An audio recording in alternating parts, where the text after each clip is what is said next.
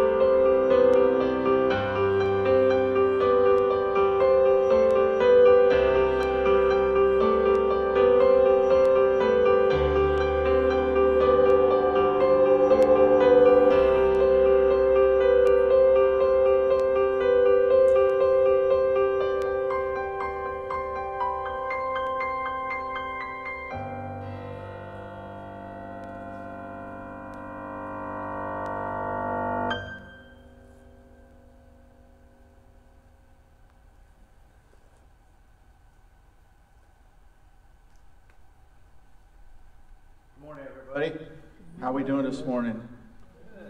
Good to be in the house of the Lord again, amen? Now I'm amazed at what God does in life. So that video said that, that you just saw 200 faces and they were all in different needs, correct?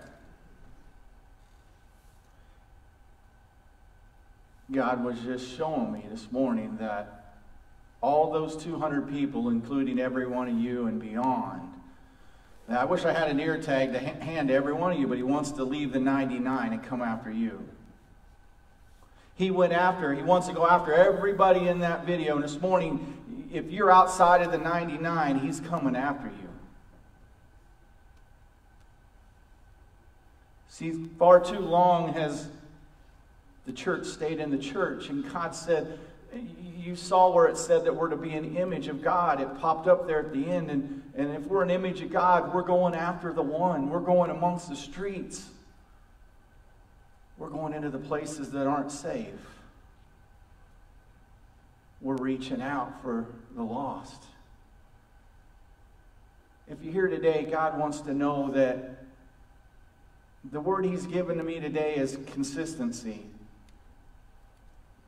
God wants to see more consistency in your relationship with Him each day.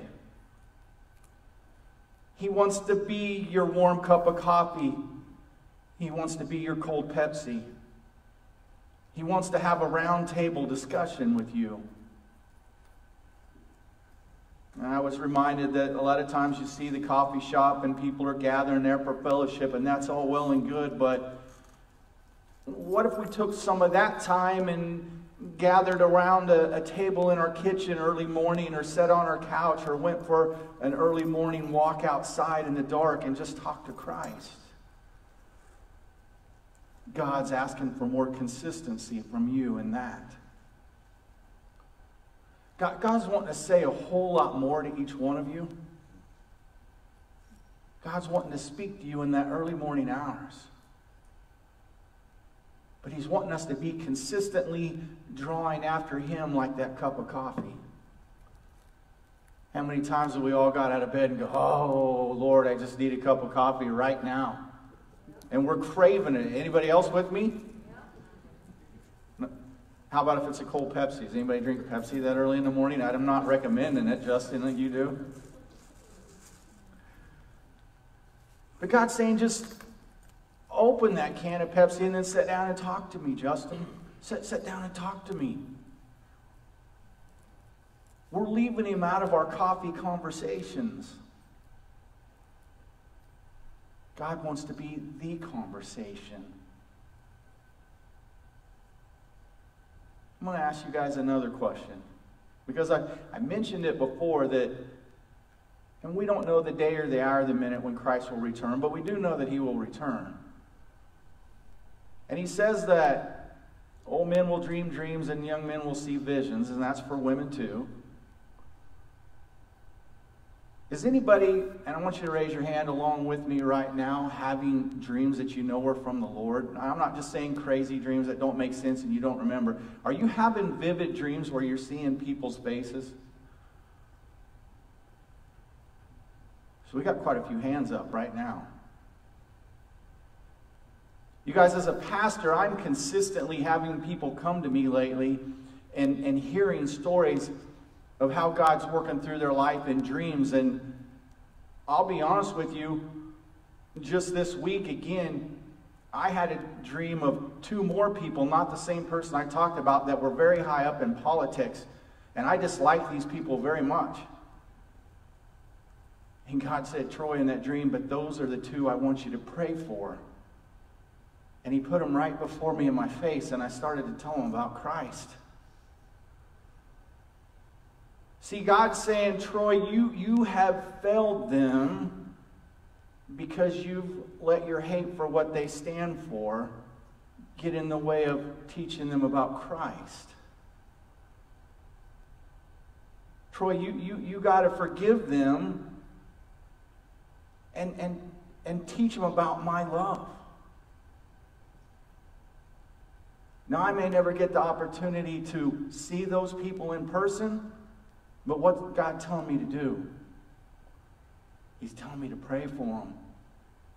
A lot of times, and, and it has no other meaning, but when somebody brings somebody's face to you in the church or in another church, he's just wanting you to pray for them that day.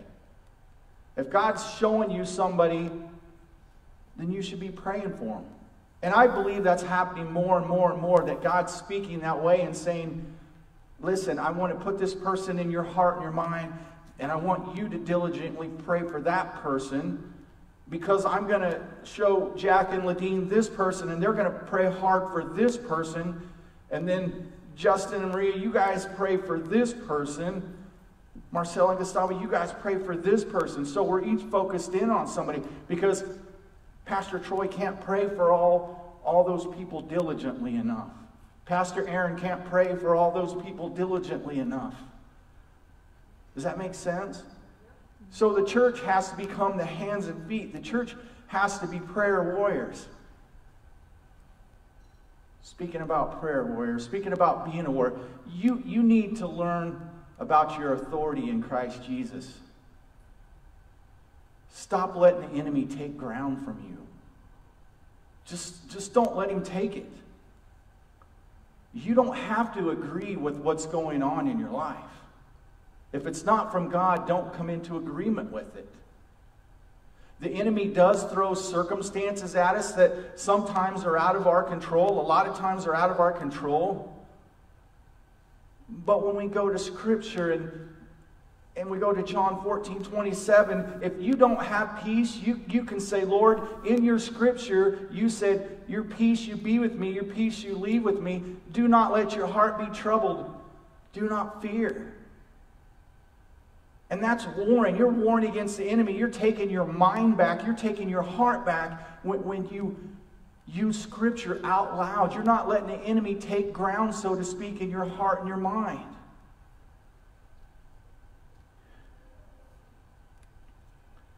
You know, I, am I'm, I'm this.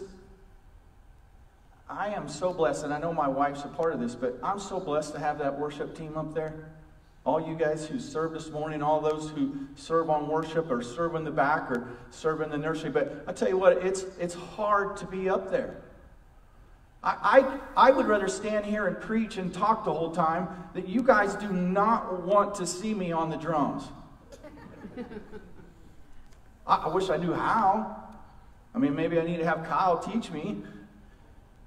I mean, Kyle, you're, you're in on that stage all the time throughout places, and it's you get nervous once in a while, don't you? Still, does it get it gets easier? But he has that gift.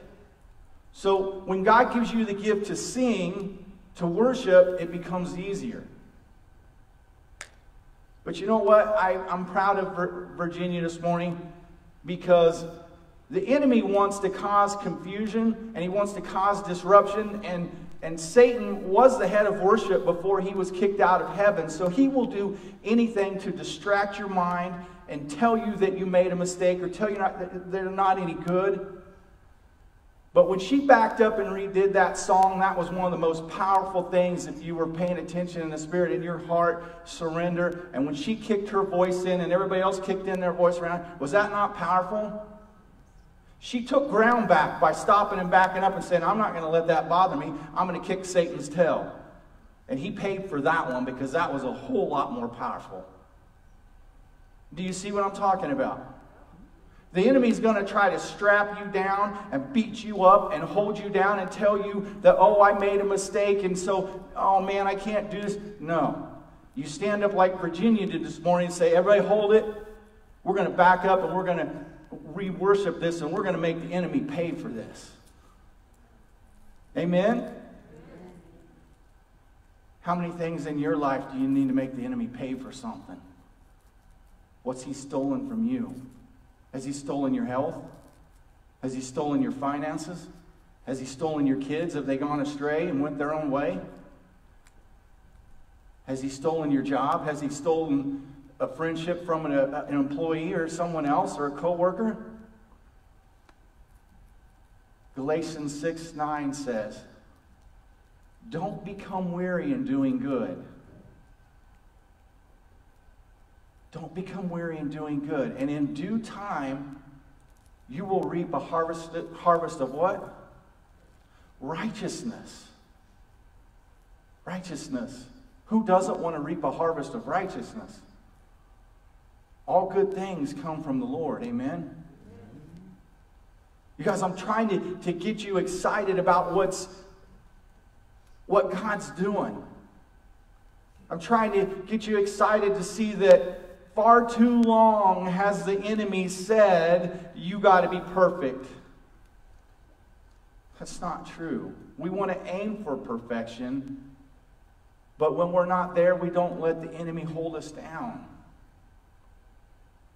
I was reminded of, of this uh, ratchet strap. We obviously keep them all the time in my line of work, and we're tying mowers down and we're strapping stuff down. And when you don't, they come flying off the trailer. But imagine this strap being laid across you, and the enemy's tying you down, and, and every time he puts something in your head, he's ratcheting it even a little bit tighter. Well, Trent, you messed up today. I heard what you said. Well, well now you now you can't lead youth group because you said that. Or well, maybe we messed up a little bit and now we can't do this, or maybe I stumbled. And, and he makes it tighter, but he starts to tell you that God can't use you. And you start to the point where he straps you down so tight that you're not going to be able to move. That's not from God. You know what God does? He opens up the strap and he pulls it and he loosens it and he sets you free. We're all going to continue to stumble and stu- stub our toe because there was only one person who walked perfectly, and that was Jesus Christ. Only one man didn't have sin, and that was Jesus Christ. And God sent him to, to loosen the ratchet strap on our life. Amen? Let's pray. Dear Heavenly Father, we just thank you today. We love you, Lord. And we just ask that you be here and continue to speak as we continue to worship you, as we continue to learn. I pray that you'll set us free and you'll teach us, God. You are the great physician, Lord. I pray that you'll bless your people that are watching from home, Father God. I know that you love them and love us so much. I pray that you'll expand the family of God today. That all the churches across America, I pray that they'll, they'll stand up and they'll preach the gospel. And, and I pray that pastors won't shrink back for fog machines and skinny jeans, God. I pray that they'll stand up and say, you know, this may make someone a little frustrated today, but they're still going to preach the word. Because Paul wasn't worried about that, neither should we. So send the Holy Spirit this morning as we trust you and we walk forward to be touched and learned by your word. In your name we pray. Amen. Amen. So there's been a some of the things we talked about at the at the Greg Moore conference that I was at was the gifts of healing. It's one of the nine gifts of the Spirit is the gift of healing. I, I constantly, as a pastor, am praying for people and getting emails of people that are sick. And when you get up those early morning hours or the last thing you think on, on your bed or when you're driving down the highway at work, I'm usually praying for somebody that's on that list. And, and it, God wants to heal you today. He wants to heal you physically and He wants to heal you spiritually. He wants to heal you emotionally. He wants to rid you of your depression. He wants to, to rid you of that broken heart of loneliness. All those things that deal with sickness are not from God. God didn't place sickness on his people, Satan does that. The one thing I want the church to hear, and this sometimes is tough, but don't blame God for your sickness. Don't blame God for bitterness. Only good things come from the Father who loves his children so much and he wants to give them good things. Only good things. And the enemy will, if you've lost a loved one in your family, the enemy sometimes will say, Well, look, God didn't heal him, and I prayed, and God didn't do this. God didn't do this. We did with our sin. We're, we're in an imperfect world, and, and God's given us everything to be successful. And, and when you do good, then you create a harvest of righteousness. And when you focus on His Scripture, you, you start to have this weapon of healing for your mind. It says to have renewing of your mind in Romans 12, 2. And in John 14, 27, it talks about Jesus leaving us that peace that I talked about. See, God's given you peace. And in the book of John, it says, Do not let your heart be troubled. If your heart's hurting today about something, God's saying, Do not let your heart be troubled. Jesus is perfection. Jesus is perfect. But sometimes bad things happen here because we're in an imperfect world. But God had a solution in the beginning, and God had a solution in the end. And I want to show you these beginnings, and I want to show you these ends, but I'm going to start with James, James chapter 5, verse 13 through 16. Now, this is probably the most familiar healing scripture in the Bible. And I just want to read this because we may start with this, we may end with part of this. But, but go to verse 13, chapter 5. Is anyone among you suffering? Let him pray. Is anyone cheerful? let him sing. Is anyone among you sick? Let him call for the elders of the church and let them pray over him, anointing him or her with oil in the name of the Lord. And the prayer of the faith will save the sick, and the Lord will raise him up. And if he has committed sin, he will be forgiven. Now, there's a whole lot there to break down, there's a whole lot there to take in, but, but verse 13 it says, is anyone among you suffering? That, that's dealing with the hurting of the heart. That's dealing with not just physical sickness, but emotional sickness. And God says, let him pray. Let him have that Pepsi morning, that coffee morning with me, and pray to me. And that heart of suffering, I will tell you through Scripture, Troy, do not let your heart be troubled, for in my house are many mansions. If ever not so, I would have told you, Troy. If there's anything you want to know, go ask God. If there's anything you want to know, go ask God. Amen. And I'm going to tell you something else. When God heals you, there's no side effects. When God heals you, there's no side effects. And every prescription you ever needed is between the covers. Between these covers. Every prescription you ever need is between the covers. Now, that being said,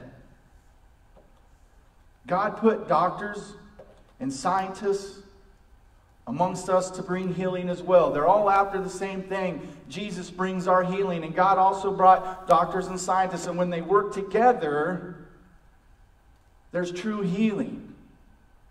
So you didn't stand up here and hear from Pastor Troy and say, well, Pastor Troy didn't say to go to the doctor. No, that's not what Pastor Troy said. Pastor Troy is saying that when God heals you, there's no side effect. But God also created those doctors with a loving gift, just like He created the worship team to sing. So the first thing you do is God says, before you go to the doctor, if you're suffering or you're hurting, you come to me in prayer. And if you have a cheerful heart, be thankful and remember to worship because God just healed you and, and now you just walk on back to work and you have a normal life. But God says, please, can you just stop and look up and admit that I did that for you and worship me and say thank you? Too many times we just go right back to what we're doing the minute God brings healing to our life. God wants to bring healing to your life. Physician means a person who cures moral and spiritual illnesses. Or it's also a person who's qualified to practice medicine. But the first place we want to turn for our healing is Scripture. And then God, uh, God says in Scripture in the book of James, He says, Is anyone among you sick? Let him, you guys, and that's important, let him call for the elders of the church. You make the phone call. Now, is there times where Pastor Troy calls people up front to, to have healing? And we may do that today if God so chooses. But when you come forward, you're making the call to say, Lord, I'm calling and I'm coming before the elders and the pastor of the church to, to, to be anointed with oil and find that healing. I think healing has become one of the hardest things to understand in the church. I, I think there's so many times that, that we feel let down and so many times that we feel disappointed that we become bitter and we become frustrated. Am I right? We, we just get frustrated because we read those promises and sometimes it doesn't happen, and doggone it, I get mad. But what we need to remember is that God didn't create sickness. He's a perfect God, and, and the enemy will keep crashing at you any way he can, and he'll keep lying to you, and he'll, he'll keep telling you false things. Don't become bitter at God. I'm going to share this again, and I know the family wouldn't mind, but when COVID 19 first came out, when we lost a good friend in Mike Boys, I can almost promise you that there was more churches and more church body people praying for that man in Barton County, maybe more than anybody that's ever been sick. I know people that were praying all night. I know people that were fasting. I know that people were specifically having worship times and just raising Mike's name before the Lord. God, you got to heal him. Look at all the people that are praying. And then he passed away, and my heart was broken. And then I became angry. And then I got the opportunity beside Mike's casket to look in his Bible. And there on a blank page that he wrote in his Bible, it said, Lord, I love you. Something like this. I'm not a perfect quote, but it said, Lord, I, I love you so much. And when you choose, I'm ready to go home with you. I am not afraid because I know what you've prepared for me. And if I become sick and tired, I don't want my life to be extended because I just want to go home with you.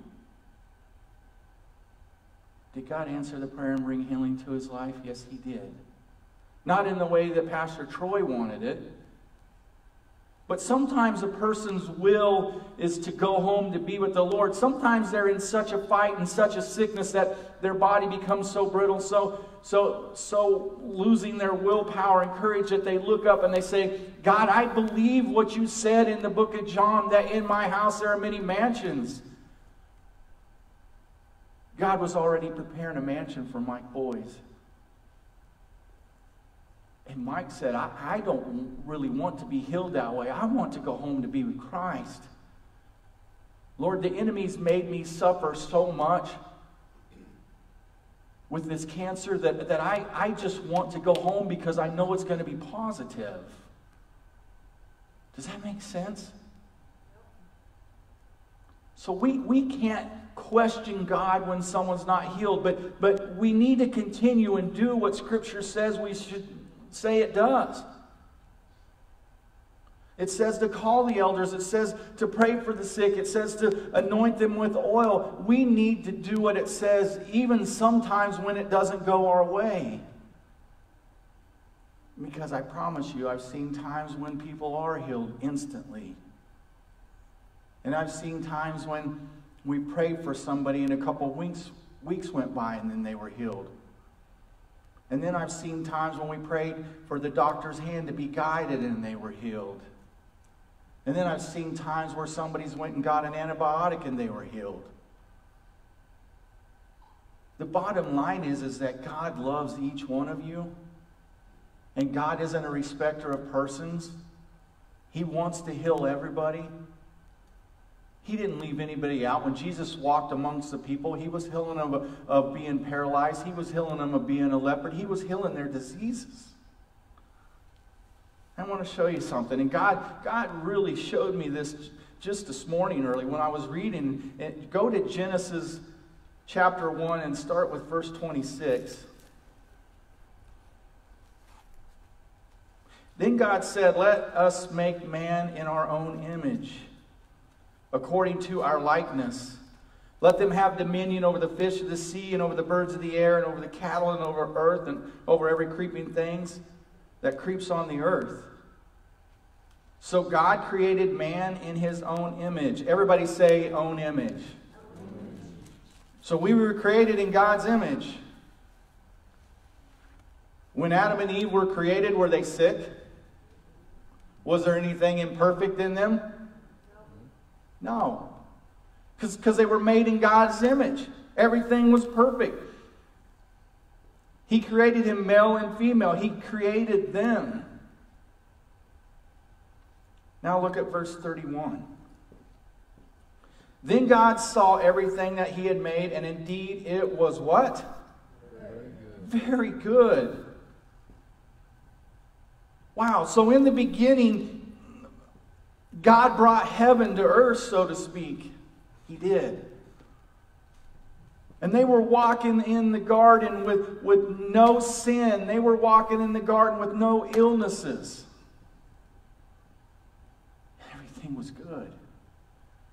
Don't we want to get back to the good? It was perfect. And then what happened? sin. There was sin. God, God didn't create the sin, Adam and Eve did. Satan tempted, right? That didn't come from God because God's a perfect God. God's a loving God. He only has perfection. He only has what's good for you. But, but we did that. Thus, that's why there's sickness today. Adam and Eve hid from him in the garden. And he said, Why are you hiding? He said, Because we're naked. He said, Well, who told you you were naked? A few verses before, it says they were naked, but they weren't ashamed. Sin causes our minds to think differently, it warps it, it makes our minds sick. God didn't create us for that. God doesn't create sickness. God doesn't want you to be sick, but sin brought sickness into the world. Turn with me to Exodus chapter 15, verse 26. They'll have it on the board up there. Exodus 15. And I know I read from the New King James, and theirs is a little bit different here, but Exodus 15 26.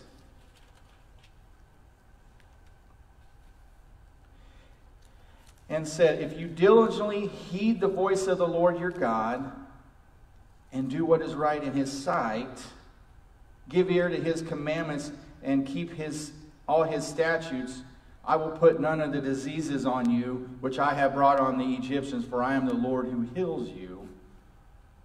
He's the Lord who heals you. But he said he would put none of the diseases on them. He was talking to Moses.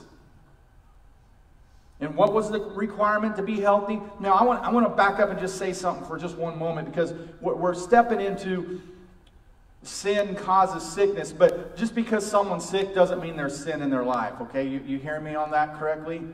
So, Pastor Troy isn't saying because you have cancer today, there's sin in your life. What I'm saying is, some situations, sin causes sickness. There's a consequences to America's sins. And right here, this is what God's saying. If you give me your ear, Troy, and follow my Ten Commandments and follow what I set up, then there's certain plagues that I won't put on your land.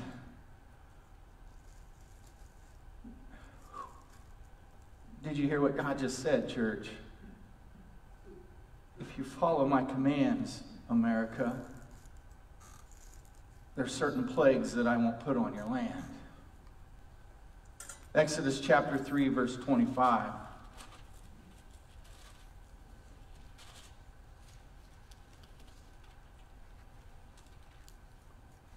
So shall you serve the Lord your God, and he will bless your bread and your water, and I will take sickness away from the midst of you. What's this one say?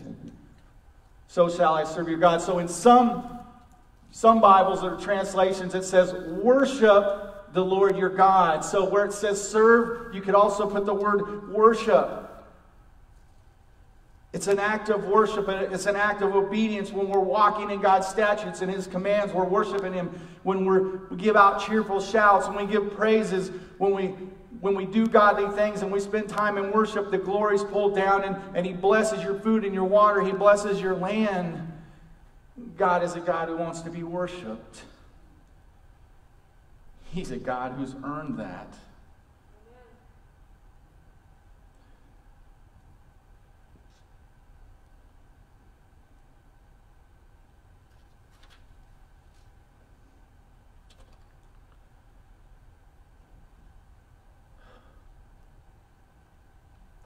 In Numbers 25, several places throughout the Bible there in Exodus, God sent sickness on the land for a discipline, judgment. Because the Israelites had fallen away and they were worshiping false gods, the gods of, of Baal Peor in, in Numbers 25. I believe that's where that's at.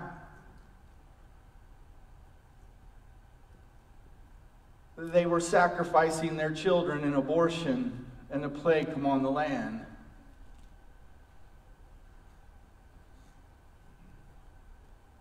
You guys, I don't know about you, but some of the toughest times of persecution may be coming to the church in America that we've ever seen if we don't stand up. Just this week, our very own government is working on passing a law called the Equality Act. We're, we're basically saying, sin in America, have your way. It's okay. If you think COVID 19 was bad, you've seen nothing yet if we pass that. If you want to know more about the Equality Act, I'll have Lori email it to you, but Franklin Graham just listed it out how we need to pray, and he explained about everything that was in there. This isn't about a political party, it isn't about any of that stuff, but, but when you read what men and women are doing against God, we should have great fear of what's coming. And I'm not trying to, to be doom and gloom. I'm also trying to create some excitement because God wants to heal your broken heart today. But He, he just laid that on me to where I barely couldn't even almost speak it. He wants us to stop this from being signed, from being passed. So, so what, how are we going to do that? We're going to pray hard. I want everybody to put that at the top of your put your family first and your and your grandchildren. You pray for your family first. But then I want you to pray for the evil things that God's trying to do right now in this country. And I'm not pointing fingers at, at anybody. As matter of fact, God showed me those people to pray for them.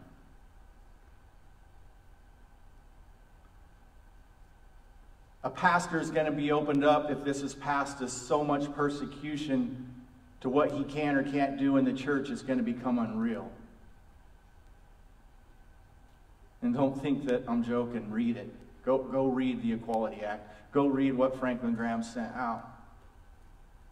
So, what, what, what I believe is going to happen, guys, is I know God's going to work a miracle. I know God's going to involve himself in this in some way. Because he's, I believe that the church has been praying. I believe that the church has been fasting and seeking after him. And I believe God's going to put a stop to some of these things. But if the church isn't praying and we become weary in doing good, we're not going to reap a harvest of righteousness. God wants us to reap that harvest, and that's why He just showed me that in my heart right now because He's saying, Troy, tell the church to pray. Too, too many churches aren't talking about these things. You guys, if it doesn't line up with Scripture between the covers, then we shouldn't be for it. We shouldn't be for it. That's not Troy choosing our government leaders one way or another, and I know I've spoken out pretty hard. But it's been because of what's between the covers.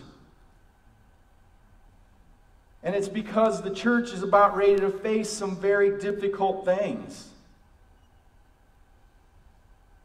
But I want to show you something else. Pull up Revelations chapter 21, verses 4 and 5.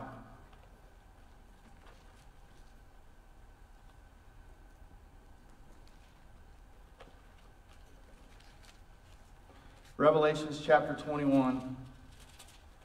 This is awesome.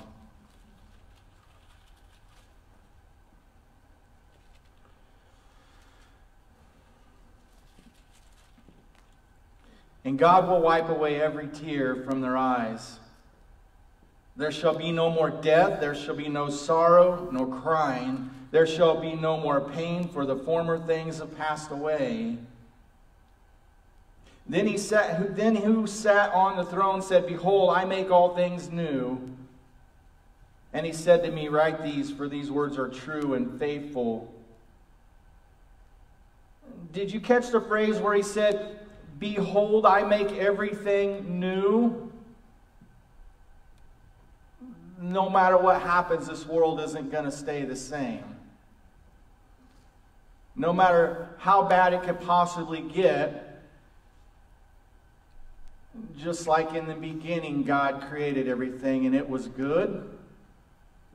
Remember that in, in, in, Genesis in the garden, everything was good? God is getting ready to make things good again. He's getting ready to create that again in His kingdom. He's taking us back to perfection. He's promising perfection. He's promising no more tears, no more suffering, no more cancer, no more depression, no more broken heart, no more arguing in the church, no more gossiping at work. He's ridding the world of sickness by creating something new. God has always been in the business of creating something new.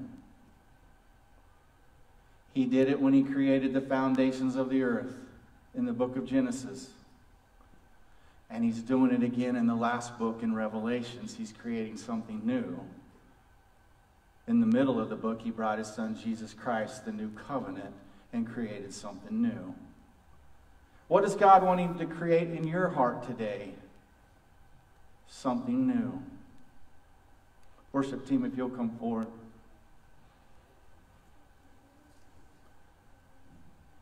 God is a good God, and He's a faithful God.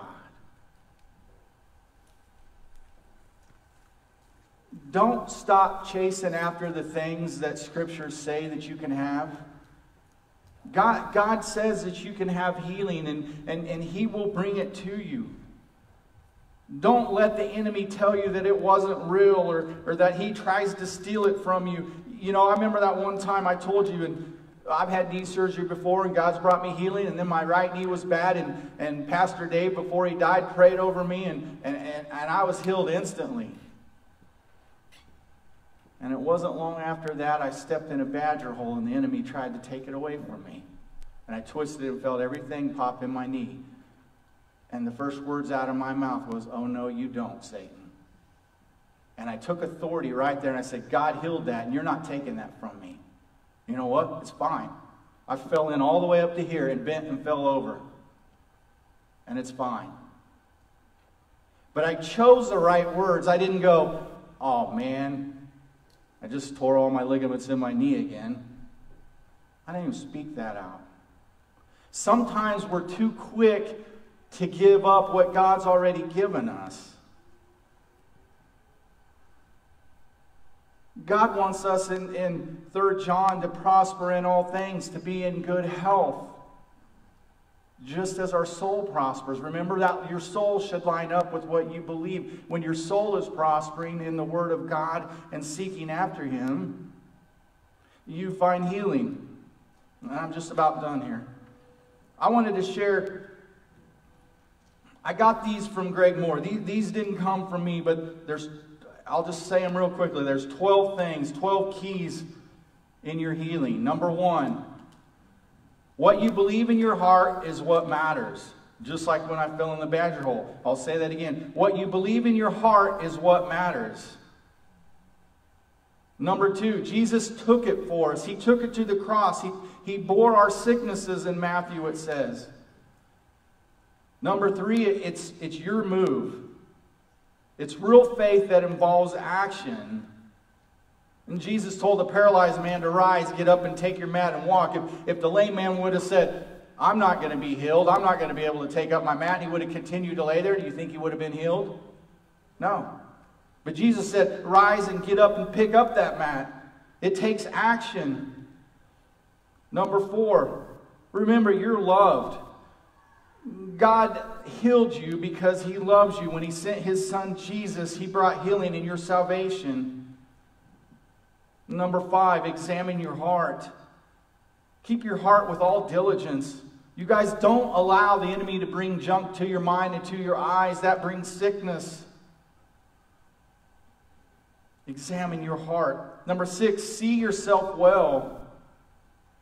The other time that I was instantly healed from a sore throat and sickness, I was sitting in the chair and God gave me the vision and I could see it and I was chasing after his shadow. I was imagining just King David resting in his shadow, being in his presence. And I remember trying to just envision stepping in that shadow and I was instantly healed. Instantly. Number seven, have aggressive faith. That's standing up for the Word of God. And from the days of John the Baptist until now, the kingdom of heaven suffers violence, and violence take it by force. We are in a spiritual battle. The enemy's out to kill, steal, and destroy, but what? Jesus came to give us life and life more abundantly. We must fight for that abundance. You guys don't have to settle for the deck of cards that's been handed to you. Ask for a new hand. Ask God to deal you a new hand. Number eight, exalt the truth over the facts. Of course, there's always facts. When, when the x ray says you got a broken arm, yes, you understand that. But then start exalting the Lord. God, I know that, that you can heal this broken bone, you can heal this broken arm. Exalt the truth over the facts. Number nine, surround yourself with faith builders. You guys, it's all about who you hang out with. Who are your closest friends? Are they people that pray for you? Are they people that will protect you? Are they people that will look out for you? Are they people that speak kind words over you? Are they people that speak good things over you? Have godly compassion. You should hang out with people who will pray for you, who, who will have compassion for you. Number 10, hear and be healed. Believe the word of God. Great multitudes came together and God healed all their infirmities. Number 11, dealing with counterattacks. Don't let your guard down. Be vigilant. 1 Peter 5 8 says, Be sober, be vigilant, because your adversary, the devil, walks around like a roaring lion seeking someone he may devour. He wants to devour you. But when you plead the word of God and you declare it, the enemy has to leave. Verse 12, the last one. If healing does not manifest, then remember this. If healing doesn't come, Deuteronomy 29 29, and Kenneth Hagin was talking about this years ago. The secret things belong to the Lord. Paul said in Romans not to become bitter, Nothing can separate you from the love of God. But when God doesn't heal the way you want, remember the secret things belong to Him. And we will have a full and better understanding, just like my boys, when the time comes. I'm here to tell you today that God has you. He has you right where you're at. He has your home. He has your family. He has your church. He, he has your country. He's just asking you to do your part. He's just asking you to stand up and pray and fight and battle for what's in Scripture. That's all I'm asking you to do today is fight for what Scripture says. Don't back down and don't be afraid. The secret things belong to our God.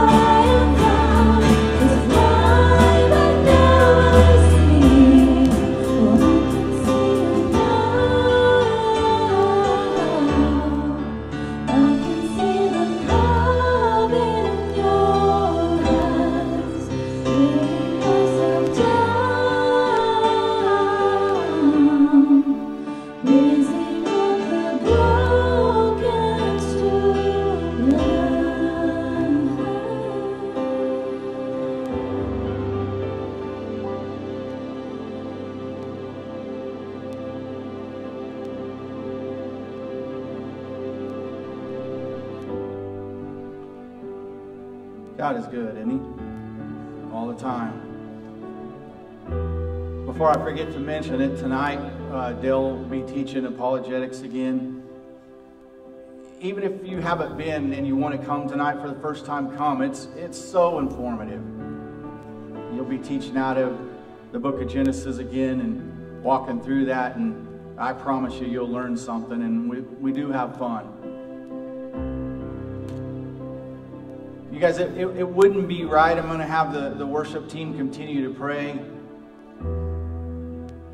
It, wouldn't be right if I didn't open the book of James and where it says, call the elders of the church and lay hands and pray for the sick, because I know there's hurting people here today. If you're sick today or your heart's broken, you just need prayer. I, I want you to come forward. No one's watching. No one's, you, you don't need to be embarrassed. Because Scripture says to get anointed with oil. Scripture says to, to, to lay hands on them and pray for them. If we don't do those things and we just read them, we're missing it. So I want you to come forward now. If, if, you are waiting on a report, if you're if you're feeling sickness and God's calling you to come forward, now's your opportunity to come come meet me up here and find prayer. Can I have some of the trustees, if you're here, come forward, please? The trustees will, elders of the church, they'll lay hands on you.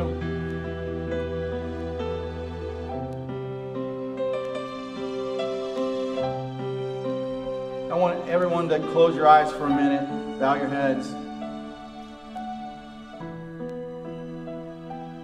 I want you to raise your hand right now if, if, there's something that's bothering you, if there's something that's ailing you. I want you just to raise your hand. No one's watching. If there's a sickness inside you that's hurting you, and, and God's telling me that, that there's somebody here and you're wanting to be set free. I just, if you've got your hand raised, I just want you, to, you've now raised your hand. Now just step out in faith and come forward. Come up, come up to the front. And we want to pray over you. You know, just, just funnel in and stand up here and we'll pray. I'm going to get Marcella, will you come pray? Becky, will you come forward and pray with some of the ladies?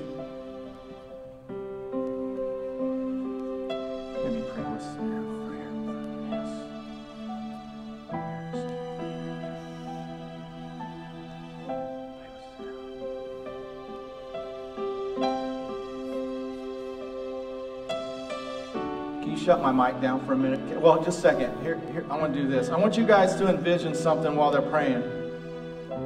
I, I want you to envision that you're at the, the throne room of God. And you're opening those double doors and you're going into his courtroom and his beautiful throne room. And, and I want you to, to see yourself walking in there. And I want you to kneel before him in your mind and lay before his feet because before Christ, before God, that's where the healing's at. So place yourself right there now. Go ahead and shut me down, Caleb.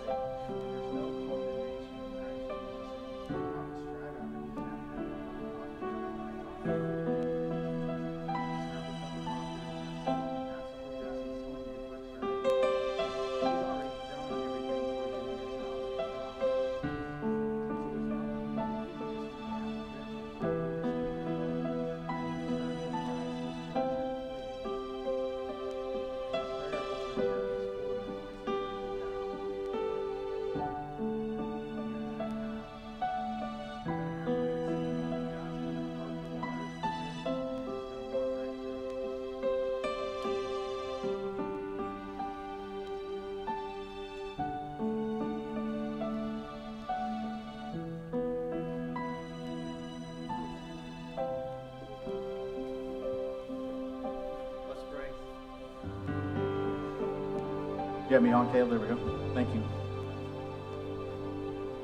Guys, God is good and He wants to heal His people and He wants to give you a word that refreshes your mind and your heart. Too many times we just we walk out of church and we don't follow what Scripture says and people are hurting, but but God just set people free. He just brought healing. Let's honor God in the things we say and we do this week. Now, Father, I just pray blessings over your people. In the name of the Father, the Son, and the Holy Spirit. Amen.